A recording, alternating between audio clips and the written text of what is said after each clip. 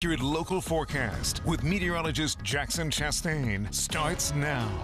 Well, I've got a live look from New Bloomfield this morning where we are seeing a little bit of fog in the background, and that's not just in New Bloomfield. That's in several areas this morning, uh, most notably in parts of Lebanon County where visibility has been reduced to about three miles. So if you're out on the roads, if you see this fog, just make sure that you're taking it safe out there. Temperature-wise, 74 degrees in Harrisburg, 71 in Mifflintown. We got 69 in McConnellsburg. But when you take a look at the dew points, you're also seeing dew points in a similar range. So upper 60s for the most part.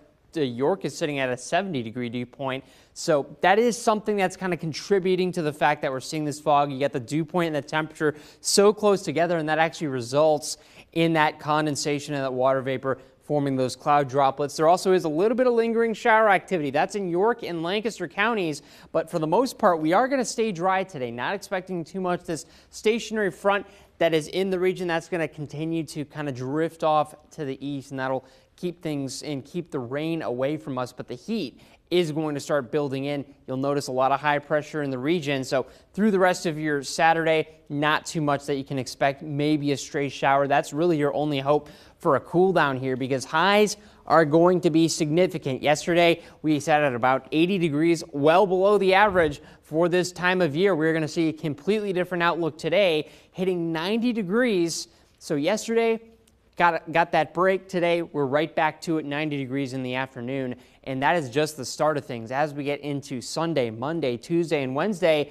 upper 90s all across the board. Only relief is going to come this coming Thursday. So we've got several days to go before we see any kind of real drop here. And the reason we're seeing that drop on Thursday is because we have a cold front that's going to move into the region. So you can see this dip that really occurs around that Thursday time frame. It brings that cooler air into the region. That will be something that you can kind of look forward to. But in the meantime, uh, there is a lot of heat on this uh, seven day forecast. So you got that 90 degree on that Saturday, you got 96 degrees on that Sunday, and then potentially hitting 98 on Tuesday. So that is something that we're watching out for. Are not really looking at breaking any records, though. Again, these records for this time of year are in the low hundreds. So we haven't hit 100 yet. I don't expect we're going to hit 100 anytime soon this summer. And, and, thankfully, when you get those higher dew points, because there's going to be a humidity factor here, that is something that's going to kind of keep the temperatures away from that upper echelon of high temperatures.